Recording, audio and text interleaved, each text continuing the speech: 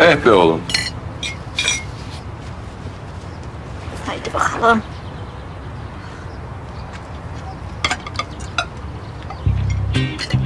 Sen de bir kadına yapılmayacak yedi sakıncalı hareketten en beterini yap.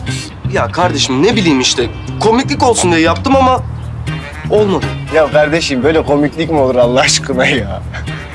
Ya Şebnem eğlenceli kızdır. Takılmaz böyle şeylere. Güler geçeriz, gerginliğini alır diye düşündüm ama alamadım. Gülü. Sen ne yapıyorsun bakayım? Ben bu çalışma temposunu tanırım. Sen yine bir şeyler çeviriyorsun. Ne o? Hiç. Ha. O mahalle grubundaki videoda sizin parmağınız var değil mi? Ne videosu? Dur, hemen izletiyorum kardeşim. Aha.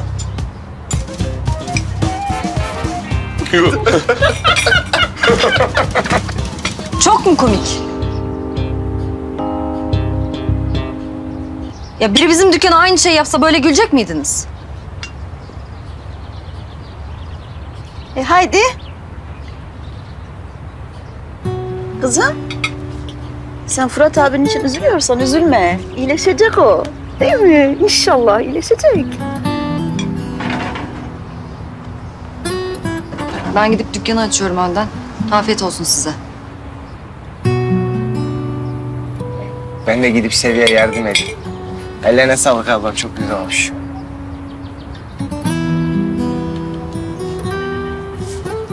Sağ ol Beyza.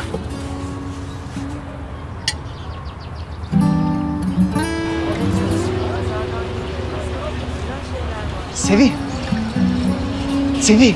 Mirza abi ne olur peşimden gelme yalnız kalmak istiyorum. Ya neyin var söylesene. Yok bir şey.